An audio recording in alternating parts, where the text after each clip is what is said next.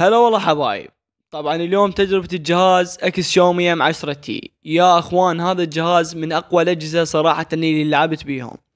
طبعا هذا الجهاز الشاشة مالته 120 هرتز و90 frame باللعبة.